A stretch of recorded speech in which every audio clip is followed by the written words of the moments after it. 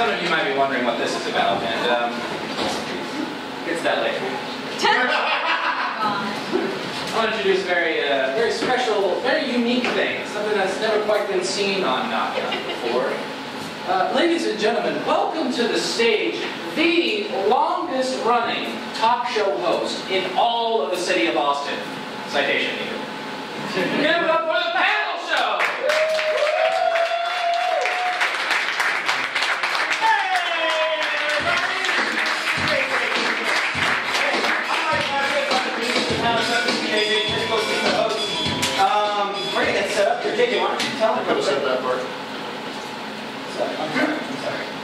Welcome to the panel show. I'm your host, JJ. This is our producer. I guess you said it better. JJ, can you explain to them what, what we do on the panel show real quick while I get the stage set up? We only have 15 minutes, we gotta be quick tonight. Okay. Um, The panel show.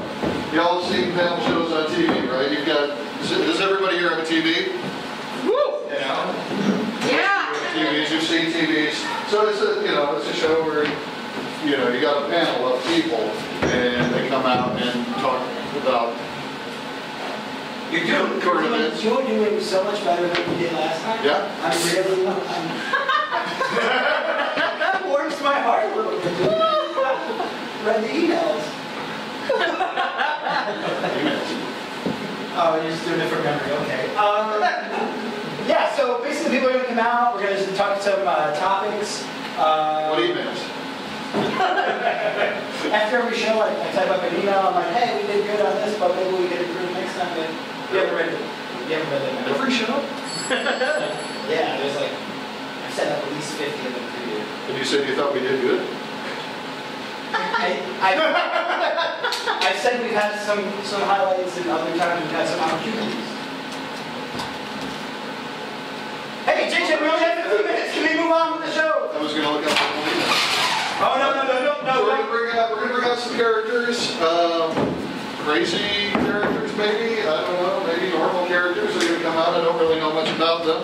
We're all gonna meet them together, and then hopefully we'll discuss some current event, news story type of things. How's that? That's, I I mean, I could have said a lot better, but you did a good job.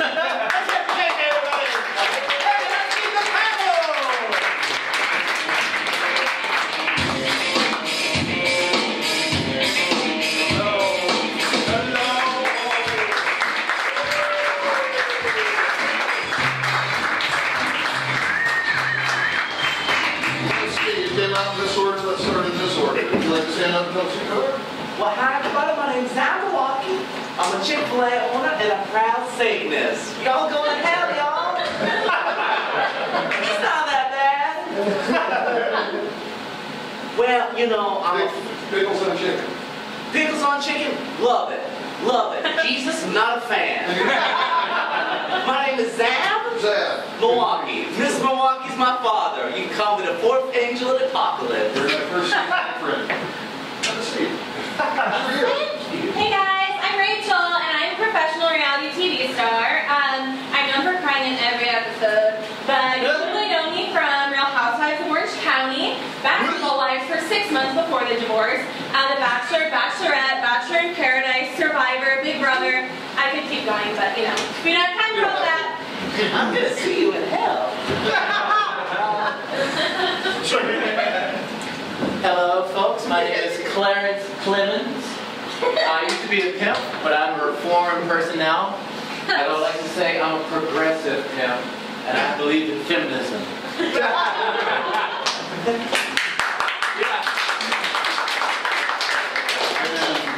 last but certainly not least, Why, hello there. I am Father Labor Day. I spend this day going across our great nation, spreading Labor Day cheer for all to hear. And I sure do love a good chant. So let's all together now, $15 an hour. Or less, depending on prevailing market rates. $15 an hour.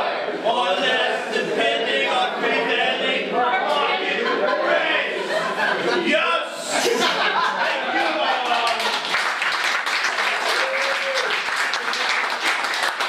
first, uh, difficult chant to remember. Said, I had trouble with that. I got one of those words. Just one? Yeah, I don't even remember which one it was for. For Haley. Hey, you got the hardest one. That was good. I'm doing all right tonight. My God. Uh, what do we do now? Hey, let's do the first story. Hey! So, everybody here is familiar with this by now, right? Because we live in Austin and there's already a taco truck on every corner. What? I think, I think it needs explanation. So, this, this fellow for Trump went on the news and said that if Trump doesn't win, there's going to be a taco truck on every corner. I don't know if that was a threat or a promise, but um, I'm going with promise. Um, but seriously, that's just another example of how Austin dictates popular culture. Uh, we beat you to it without Donald Trump. I'm a fan of Donald Trump. He's got a lot of great ideas. You live in hell. The reason why we don't have taco trucks is because I favor feminism.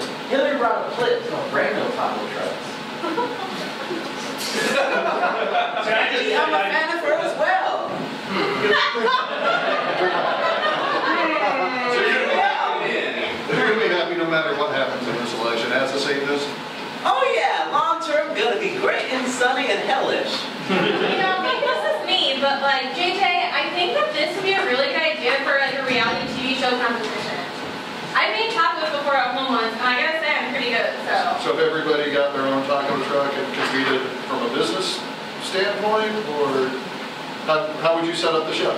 well, of course, like it would be like everyone's got their own taco truck, right? And they uh, decide to make different kinds of tacos every week. It's kind of like MasterChef. They give that mystery box, and they're like, this week it's cactus, this week it's rabbit, you know? So just gotta compete. It's new. You never know. What darkness is it? You, what's your favorite taco? Neat. Migas, okay. That's your story. Oh, this is a good one. Folks, are you like me? Do you love creepy clowns? No? Yeah. What, what kind of circus would employ such creepy clowns? I don't know anything about this. Have you heard this story? There's children in South Carolina who report that they're seeing clowns just hanging out on the edge of the woods, beckoning them in, sometimes with cash or ice creams or whatever else. But not only is this happening in one town, a town like There's. Hello? Oh yeah, hello. Yeah. Uh, Who's there? You call the panel show? Yeah, uh, this is Greg. I, I'm actually the clown. If you have something you'd like to add to the story. Yeah, just, I'm just trying to drum up business, guys. These kids hate clowns, so I, I try to offer them ice cream or money, and come on, let me be at your birthday party. I never even thought about them as much. Sounds like an enterprising young man. so, yes, absolutely. Checks out. I don't like the story. It's kind of scary, and I think that it's making the kids upset. And I think that you should just stop. So please stop, sir. No. Well, let's just agree to disagree. Do we have another news story? Oh.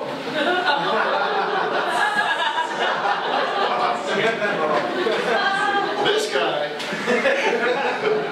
thought he was in line for Katy Perry. he thought he had that shit locked down. He never met her in person. Katie. Katie. Katie's a strong feminist. You know what? That guy had had come to work. He had come. I've actually been texting Katy Perry myself for several years, and she told me she never even met this guy. I'm going to take her word for it. Well, I, I myself have been captured before. It's terrible. It's terrible. The epidemic is sweeping the country. I thought I was, uh, I thought I had some real uh, energy with Emma Goldman, but it turns out she's been dead for over a hundred years. So, I, I guess it was a loss on me.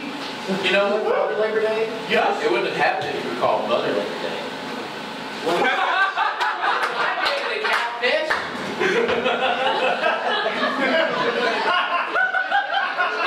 it was good for a little bit. You know, she was real sweet. What did she tell you? Well, you know, speak that much in a relationship. Uh, ocean adventure? She she just like she just like sung in my ear and told me about you know the glories of owning a small business in this great nation. I just gotta say, I don't think you're looking at the silver lining of this situation, okay? Like, this guy clearly was probably a nobody for a very long time, and now he has a chance. Everyone knows he's really single. He's heartbroken, and now all the ladies are gonna be able to see that this really nice man, this very trusting and Spencer. gullible, His and it's is gonna love them. He has a name. It's I'm sorry, Spencer. I too had a name. It's I, Alamo, Broadway's most auditioned actor, and I have auditioned for this talent show that, like you and the director of Cats, have not yet picked me up. Is Cat still open? That's probably why I've never gotten that call back. I think we have here a hard-working young man. I have auditioned for 30 plays for 30 years. Your, your name is not Alamo. Well, it's my non-equity stage name. but My real name is Mike Timmons. but it needs Mr. to Lamone. sound.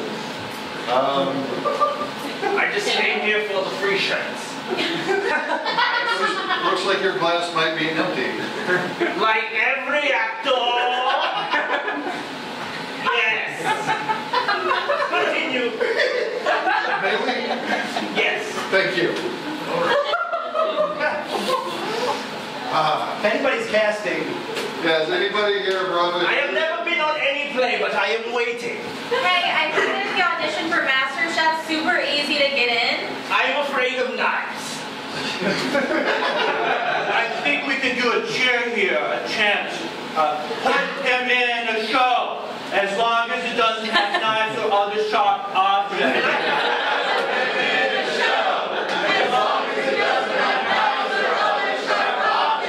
Uh, Wait a minute. Let's give me a minute. I'm gonna have that. Enjoy it. I think uh, I think we have one news story left. Do it. Yeah. Let's hit it. Oh, not like you'd notice. I just want to know who cares. Like, let's talk about the real issues. what's on? Go on. oh, you want me to talk about the real issues? I think she's challenging you as producer. I know. what, what I'm glad to be out of this. What story did I forget? Rachel? I don't know, like a couple weeks ago, Frank Ocean released his new album and no one wants to talk about it now that it's released, so we can talk about that. Okay, Frank Ocean released a new album. Are we done? Maybe they feel satisfied. Okay. Um, is anybody here driving a car? Have you noticed that we're now the second most congested road in Texas and no longer the most congested? And someplace in Houston, uh, of course, maybe you've heard of it. Well, thank you. Houston? Has anybody heard of Houston? Maybe not. It's, if this is a map of Texas and this is Austin right here, Houston's back here. I don't think it's actually saying I-35 is getting less congested. Just the other. only not as much as we another road. So we might not actually notice that unless we drive all the road.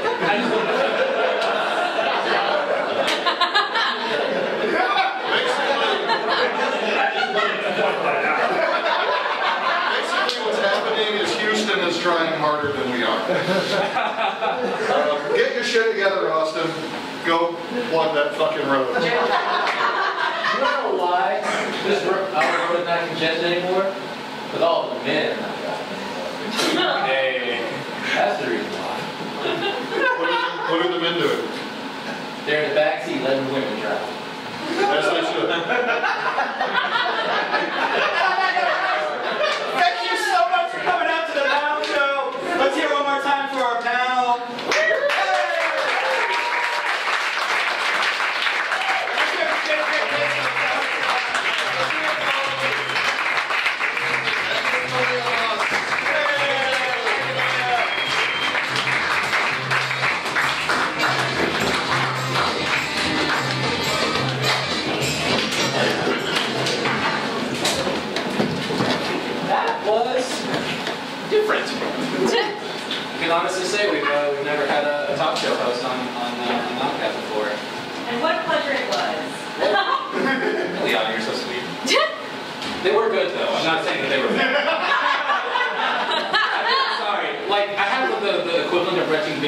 bitch face, but in my voice. It's like everything I say is just like. No. Ladies, gentlemen, everyone otherwise and in between, thank you for coming to the Knockout Show. Without further ado, I would like to present tonight's winner. Please sound.